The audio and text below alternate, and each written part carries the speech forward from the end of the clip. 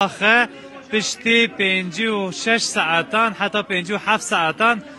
دایی که به ناو یلیس ساخ هات درخستن جبنه و خوپانه گوادن ببکا و ماسال یا سالونی وی هات بو رزگار کرن اوه دایک جی هات خلاص کرن و که کهونده بینن تیمن هاوارچون خواه گهاندنه پشتی پنجی و هفت ساعتان یلیس خانم به